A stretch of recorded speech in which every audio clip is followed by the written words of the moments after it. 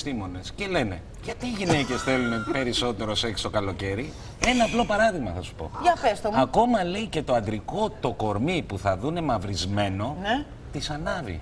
Θεωρούν ότι αυτός ο άνδρας θα τις βάλει στο κρεβάτι για να τις ακατέψει. Κατάλαβες, πρέπει να τις καρδινιάσεις. αγκατέψει. Να Γρηγόρη, τις ακατέψει. Για μένα σαν να είναι πάντα καλοκαίρι.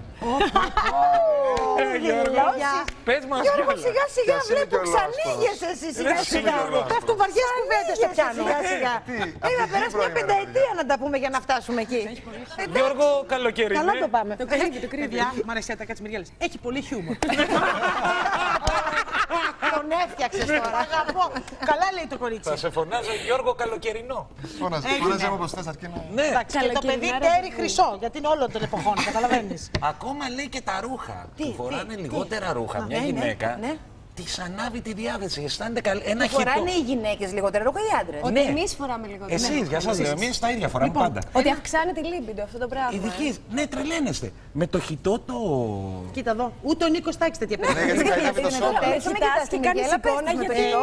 Δεν πήρα, θες τη νέα την κοπέλα, αλλά δεν Το πήρα τώρα. χιτό. Αυτός Όποιο σου παιδί. υπήρχε. Τους σκάρω το φορτίο, έλα εδώ. Πες σε μένα με το χιτό πώς θα είμαι.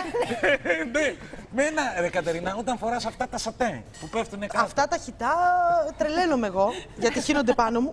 Και Φυσάει και τα αεράκια και σε Φυσάει χαϊδεύει. τα αεράκι και τραγουδάω. Άιδε μα, τώρα Καλημέρα, Ασπρονήσι.